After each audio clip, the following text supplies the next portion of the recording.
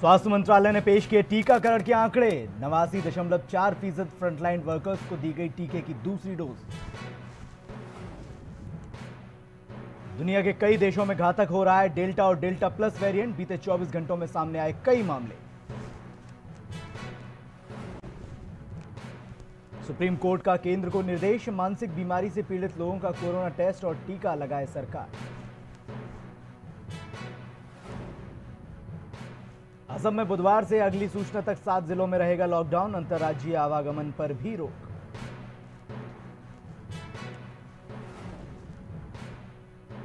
Social media के बाद केंद्रीय फ़िल्म प्रमाणन बोर्ड की बारी, संसदीय स्थायी समिति आईटी करेगी कामकाज की समीक्षा।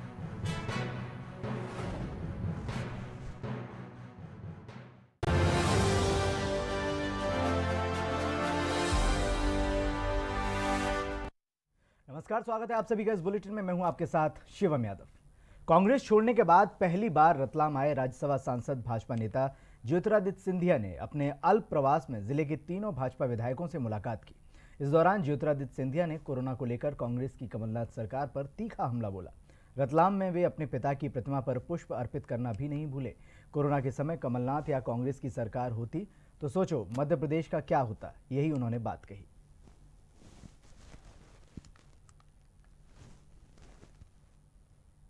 पर मुझे कुछ कहने की ज़रूरत नहीं है, क्योंकि कांग्रेस के मस्तिष्क में अभी भी पूर्ण रूप से सपन, एक सपने की तरह मैं अभी भी बन रहा हूँ। तो अगर वो मेरे बारे में सोच रहे हैं तो मेरी खुशकिस्मती है, और क्या कहूँ मैं? वहीं भोपाल में गृह एवं जेल मंत्री डॉक्टर नरोत्तम मिश्रा का कहना है और उनका कोरोना को लेकर बयान सामने आया है। इस बयान में उन्होंने कहा है कि प्रदेश में कोरोना नियंत्रण में आ रहे तमाम तरह की चीज़ें सामने आ रही हैं। कोरोना की समीक्षा बैठक में तीसरी लहर को लेकर सीएम ने निर्देश दिए हैं। वहीं नरोत्तम मिश्रा ने कमलनाथ पर निशाना साधते हुए कहा कि कोरोना काल में भरपूर आराम करने के बाद अब वो राजनीतिक पर्यटन पर निकले हैं। आइए जानते हैं, डॉक्टर नरोत्तम मिश्रा ने अपने बयान में और क्या कुछ कहा। माननीय मुख्यमंत्री जी ने कल तीसरी लहर को लेके क्राइसिस मैनेजमेंट ग्रुप के लोगों से नीचे तक बात की और ये स्पष्ट रूप से कहा है कि इसमें कोई कोताही नहीं बरतना है। ढील नहीं बरतना। हम लगभग सत्तर हज़ार के आसपास प्रतिदिन रोज टेस्ट कर रहे हैं। और लगभग 25 से 35 तक हम लोगों की कांटेक्ट ट्रेसिंग भी करते हैं। इसलिए हमारी पूरी तैयारी और ताकत ऐसी है कि कोरोना की तीसरी लहर को रोक के रखें। कोरोना काल में भरपूर आराम करने के बाद राजनीतिक पर्यटन पे निकले आदरणीय कमलनाथ जी। भाजपा पे आरोप लगाने के पहले ये तो सोचो कि वो पंद्रह साल तक कांग्रेस का अध्यक्ष रहे, उसके पिताजी दादाजी। ये सब वो लोग हैं जो कांग्रेस के टिकट पे तिवारी जी चुनाव लड़े हैं वहाँ पर। एक उंगली हमारी तरफ़ उठाते हो तो तीन उंगली वहीं धार ज़िले की मनावर पुलिस को बड़ी सफलता हाथ लगी है, जहाँ पुलिस ने अवैध हथियार तस्करों पर शिकंजा कसते हुए आरोपियों को गिरफ़्तार कर लिया है। वहीं पुलिस ने पकड़े गए आरोपियों के पास से आठ देसी कट्टे, दो देसी पिस्टल और दो ज़िंदा कारतूस बरामद किए हैं। इस मामले में पुलिस का कहना है कि पूछताछ में आरोपियों ने अपना जुर्म कबूल कर लिया है। इस आरोपी को जो पकड़ा गया और जब इस आरोपी पकड़ा गया तो इसके पास में बहुत ही घातक तरीके दस हथियार आर्म्स मिले हैं जिसमें करीब आठ जो है वो कट्टा है देसी कट्टा है और वहीं पूर्व केंद्रीय मंत्री और भाजपा के राज्यसभा सांसद ज्योतिरादित्य सिंधिया धार पहुँचे जहाँ उन्होंने कोरोना से मृत भाजपा कार्यकर्ताओं के परिवार को श्रद्धांजलि अर्पित की। वहीं उन्होंने कांग्रेस सरकार पर निशाना साधते हुए कहा कि कांग्रेस सवाल उठाने में ही विश्वास करती है। कोरोना में जनता की मदद करने में कोई भूमिका नहीं है। वो अपने आप में ही उलझी हुई है। कांग्रेस हर स्थिति में राजनीति ढूंढती है और हर विपत्ति में भी राजनीति ढूंढती है। मुझे तो आश्चर्य है कि कोरोना जैसे विपत्ति में जहाँ देश के साथ खड़ा रहना चाहिए कांग्रेस को, वो पार्टी वैक्सीन पर प्रश्न चिन्ह उठा रही है, वो पार्टी लॉकडाउन पर प्रश्न चिन्ह लॉकडाउन किया तो क्यों? लॉकडाउन उठाया तो क्यों? दूसरे वेव में जब हमने राज्यों को अधिकार दिया लॉकडाउन के लिए राष्ट्रीय व्यापक लॉकडाउन क्यों नहीं किया? अरे, आपने तो विरोध किया था ना जब पहला लॉकडाउन का। राज्यों को अधिकार दिया जाए तो क्यों? राज्यों को अधिकार न दिया जाए वैक्सीन प्रोक्योरमेंट के लिए तो क्यों? तो कांग्रेस मुझे वहीं बेटमा में भाजपा में जनसंघ के संस्थापक श्यामा प्रसाद मुखर्जी की जयंती पखवाड़ा दिवस के रूप में मनाई जा रही है। आज उनकी जयंती के उपलक्ष्य में बेटमा के सामुदायिक स्वास्थ्य केंद्र, मंत्रीनगर के गार्डन एवं कई अन्य जगहों पर पौधारोपण करने पहुँचे। इस अवसर पर नगर परिषद सीएमओ मीनाक्षी पाटीदार, नगर परिषद अध्यक्ष धर्मवीर सिंह चौहान समेत कई भाजपा कार्यकर्ता उपस्थित रहे।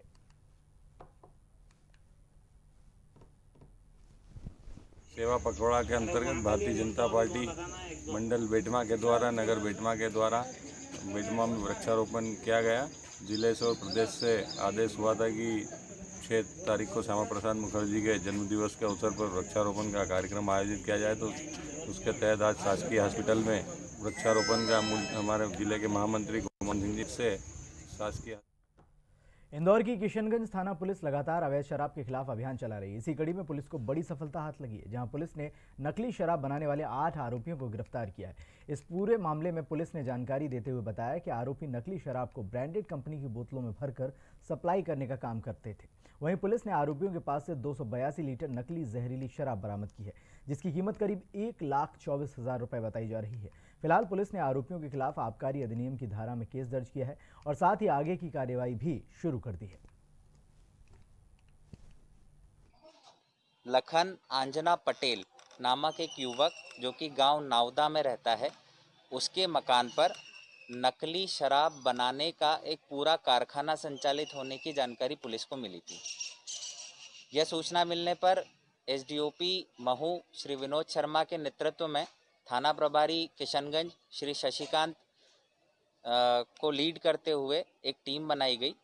टीम ने जब उक्त स्थान पर जाकर दबिश देना चाहा तो उस मकान के बाहर एक स्कॉर्पियो गाड़ी में एक व्यक्ति था, जो संदिग्ध स्थिति में वहाँ से भागने की कोशिश करता पाया गया। उस व्यक्ति को थाना किशनगंज पकड़ने पर जब पूछताछ की गई तो उस व्यक्ति ने अपना नाम हेमंत लूनिया बताया। हेमंत लूनिया से जब गाड़ी की सर्चिंग करवाई गई तो उस गाड़ी से 60 लीटर अवैध खाद वहीं भोपाल में चिकित्सा शिक्षा मंत्री विश्वास सारंग ने बयान दिया है। उन्होंने महिलाओं पर अत्याचार होने को लेकर कमलनाथ के बयान पर पलटवार करते हुए कहा है कि अच्छा होता जब कमलनाथ के हाथों में मध्य प्रदेश की कमान थी तब ऐसा विचार कर लेते और कह देते कि महिलाओं पर अत्याचार रोक दो। अच्छा होता। कमलनाथ जी पंद्रह महीने जब उनके हाथों में मध्य प्रदेश की कमान थी और वो मुख्यमंत्री थे, उस समय ऐसा विचार कर लेते और उस समय की सरकार को ये कह देते कि महिलाओं पर अत्याचार रोक दो। आपको याद होगा, मुख्यमंत्री निवास से डेढ़ किलोमीटर दूर बच्चियों के साथ रेप हुआ था और उस पर कोई कार्रवाई नहीं हुई। कमलनाथ जी ने इतना भी जहमत नहीं उठाई कि उन बच्चियों के घर पर वो जा सके। आज लाशों पर राजनीति करना और केवल अपनी राजनीतिक रोटी सेकने के लिए इस तरह से अनर्गल बयानबाजी करना, ये काम वहीं इंदौर में टिकटॉक पर नकली पिस्टल लहराकर एक वीडियो शूट किया और इसका वीडियो सोशल मीडिया पर वायरल हो रहा है। वहीं जब इस मामले की सूचना पुलिस को मिली तो पुलिस ने बाइक सवार चार आरोपियों को गिरफ़्तार कर लिया। साथ ही आरोपियों के पास से नकली पिस्टल भी पुलिस ने बरामद की है। दो मोटरसाइकिलों पर कुछ युवक स्टंट करते हुए जो नकली पिस्टल आती वो लहराते हुए घूम रहे थे और वीडियो बना रहे थे। सूचना पर पुलिस ने घेराबंदी कर उनको पकड़ा। उनसे दो मोटरसाइकिलें जब्त की। साथ ही नाबालिग वाहन चलाने के वहीं इंदौर के डीआईजी कार्यालय परिसर में पुलिस विभाग द्वारा पाँच से अधिक स्पीकर लगाए गए हैं, जिसमें सुबह शाम भक्ति संगीत की धुन का संचार होता है। एडिशनल एसपी मुख्यालय मनीषा पाठक सोनी के अनु- अनुसार वर्तमान में पुलिस कोरोना के खिलाफ जारी जंग में महत्वपूर्ण भूमिका निभाने के साथ शहर की सुरक्षा व्यवस्था को संभाले हुए है। ऐसे में मंत्रोच्चार की ध्वनि अधिकारी से लेकर पुलिसकर्मी तक में एक नई ऊर्जा का संचार कर रही है। मनीषा पाठक सोनी ने बताया कि धार्मिक मंत्रों का उच्चारण प्रत्येक व्यक्ति को मानसिक शांति प्रदान करता है और सकारात्मक ऊर्जा का संचार होता है। दरअसल, अभी आप देखें तो हम सब एक बड़े तनाव के या पैंडमिक के दौर से गुजरे हैं और हम सब में कहीं ना कहीं निराशा या हताशा का भाव था। हर हर दिन हम देखते थे कि एक बुरी खबर हमको आती थी कभी किसी के परिवार से, किसी मित्रजन के परिवार से, कोई ना कोई हादसे की खबर आती थी। तो बड़े ही तनाव से हर व्यक्ति गुजरता था, चाहे वो आवेदक हो या यहाँ का स्टाफ हो। ऐसे में डीआईजी सर ने एक दिन ये सुझाव दिया कि इस तरह का क्यों ना कुछ यहाँ साउंड सिस्टम लगाया जाए जिससे कुछ ऐसी म्यूज़िक बजाया जाए जिससे कि आनंद की अनुभूति हो या ध्यान की अनुभूति। वहीं सिंगरौली की कोतवाली पुलिस को बड़ी सफलता हाथ लगी है, जहाँ पुलिस ने अंतर्राज्यीय शातिर अपराधी राम भजन शाह को गिरफ़्तार किया है। पुलिस ने आरोपी के पास से 38 कैमरे समेत अट्ठावन लाख से अधिक कई इलेक्ट्रॉनिक सामग्री बरामद की हैं। वहीं पुलिस की पूछताछ में आरोपी युवक ने बताया कि वो इससे पहले भी चोरी की कई बड़ी घटनाओं को अंजाम दे चुका है। फ़िलहाल पुलिस आगे की कार्रवाई में जुटी हुई है। मात्रा में इलेक्ट्रॉनिक आइटम्स जैसे वीडियो कैमरे ड्रोन और लैपटॉप पाम टॉप और मोबाइल बरामद किए गए हैं। ये जो है, दो कैमरे लेकर के बेचने के प्राग में था, जिसकी सूचना पुलिस बैड़न पुलिस को मिली थी। बैड़न पुलिस ने उसको रेड करके पकड़ा था और उससे पूछताछ करने पर उसके घर से काफ़ी मात्रा में जो है लैपटॉप पाम टॉप मोबाइल्स तीन ड्रोन कैमरे और भारी मात्रा में जो है ये कैमरे बरामद हुए हैं। अनुमानित लागत जो है अंठावन लाख।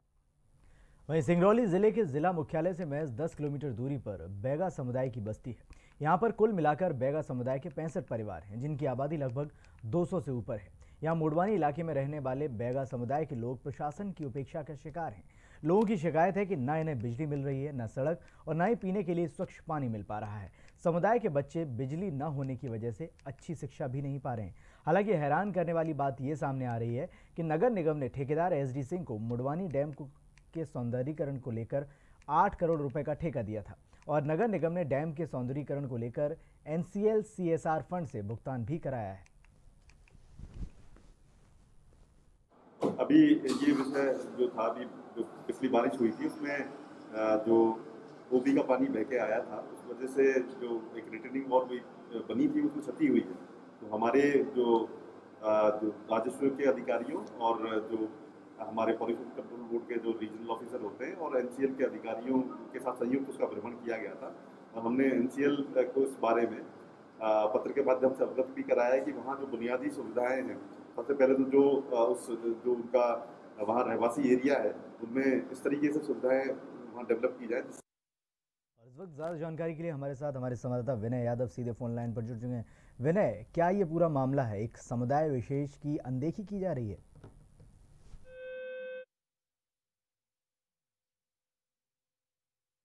लेकिन ये जिस तरह की तस्वीरें हम आपको दिखा रहे हैं, जहाँ पर बैगा समुदाय के लोग काफ़ी परेशान हैं उनका कहना है कि सड़क, बिजली और पानी का बहुत बड़ा संकट उनके ऊपर है, लेकिन बावजूद इसके प्रशासन इस ओर कोई भी ध्यान नहीं दे रहा है।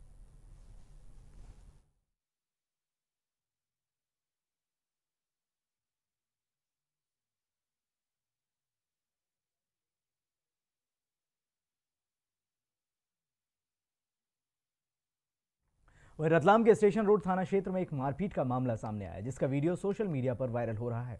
इस पूरे मामले में पुलिस अधिकारी ने बताया कि वीडियो स्टेशन रोड थाना क्षेत्र के जावरा फाटक का है, जहाँ कुछ लोगों के बीच मारपीट हुई है। वहीं फरियादी की शिकायत पर पुलिस ने आरोपियों के खिलाफ धारा तीन सौ सत्ताईस के तहत मामला दर्ज किया है। कल दोपहर की बात है, जावरा रोड पर कुछ लोगों ने मोन्टी और लोकेश जायसवाल के साथ मारपीट की है। जो प्राइमेसी तौर पे ये जानकारी मिली है कि ये लोग अवैध रुपयों की मोन्टी से मांग कर रहे थे और इसी बात को लेकर इन लोगों ने उसके साथ मारपीट की है। जिसके संबंध में तीन लोगों के वहीं रीवा ज़िले के गढ़ थाना पुलिस ने घेराबंदी करके 150 किलोग्राम गांजे की बड़ी खेप पकड़ी है। जीप में लोड करके ये गांजे की खेप लाई जा रही थी, जिसमें तीन तस्कर भी सवार थे, जिनमें से दो को पुलिस ने हिरासत में ले लिया, जबकि एक भागने में कामयाब हो गया। जिसकी तलाश की जा रही है। वहीं पुलिस लगातार फरार आरोपियों की तलाश में जुटी हुई है। साथ ही पुलिस इस पूरे मामले पर जाँच कर रही है और आगे की कार्रवाई शुरू करती है।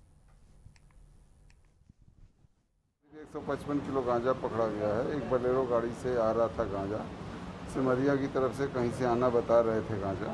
उसकी तस्दीक की जा रही है। एक आरोपी मौके से फरार हो गया।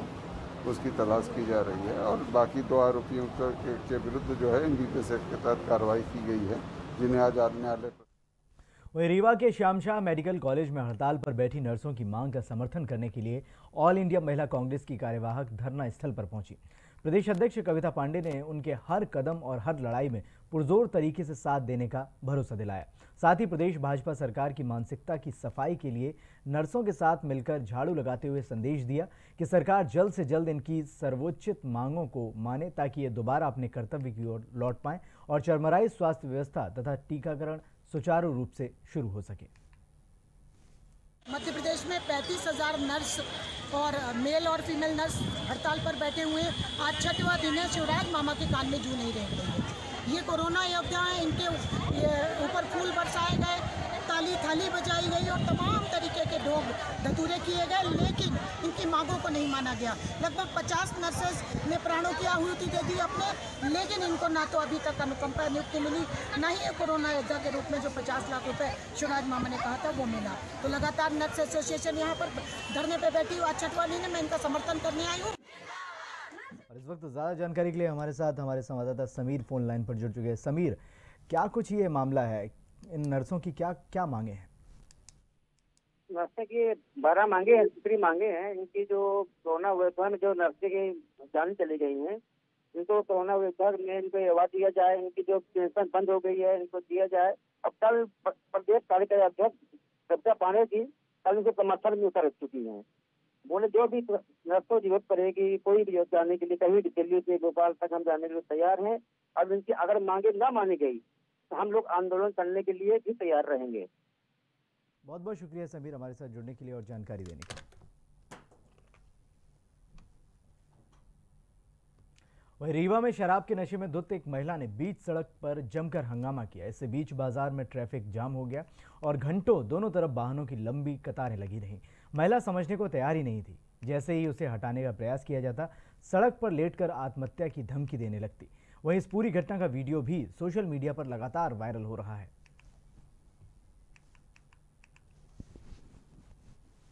कि अमैया सिरमौर मार्ग पर एक महिला जो है संभवतः नशे की हालत में जो है उत्पाद कर रही है और आने जाने वाली गाड़ियों को रोक रही है। उसकी स्वयं की सुरक्षा को देखते हुए और कानून व्यवस्था और ट्रैफ़िक को देखते हुए तत्काल महिला सब इंस्पेक्टर किरण कामले के साथ स्टाफ को भेजा गया। वहाँ पर उन्होंने जो है उस महिला को वहाँ से लेके और सुरक्षित घर पे पहुँचाया और घर वालों को समझाइश दी। मंदसौर ज़िले की बानपुरा तहसील में मिनी गोवा नाम की एक जगह स्थित है। जी हाँ ज़िले में बढ़ते पर्यटन स्थलों में एक नाम और शुमार हो गया है, जिसे नाम दिया गया है मिनी गोवा। भानपुरा तहसील में स्थित ग्राम कवला में भी ये चर्चा का विषय बना हुआ है, जिसका कारण है गाँव में बढ़ता पर्यटन। बता दें कि कमला गाँव की आबादी क्षेत्र से दूर, दक्षिण में चंबल के तट पर दो विशाल शिलाखंड स्थित हैं। इन शिलाखंडों में एबाबिल पक्षी के मिट्टी से बने सुंदर घरौंदे होने के कारण इन्हें गाँव में चिड़ी वाला पत्थर भी कहते हैं। इन्हीं दो विशाल शिलाखंडों की परिधि में चंबल अपना विराट स्वरूप लिए बहती है। यहाँ लगातार लहरों की मार से रेत ने जमा होकर किनारों को बीच का स्वरूप दे दिया है। यही कारण है कि आने वाले पर्यटक इसे मिनी गोवा की संज्ञा देने लगे हैं। बड़ा सवाल यह है कि यहाँ पर हज़ारों पर्यटक रोज़ाना पहुँच रहे हैं, पर प्रशासन की किसी प्रकार की कोई व्यवस्था यहाँ पर नहीं की गई है। यहाँ अगर प्रशासन ध्यान न देता है तो कभी भी कोई भी बड़ा हादसा हो सकता है।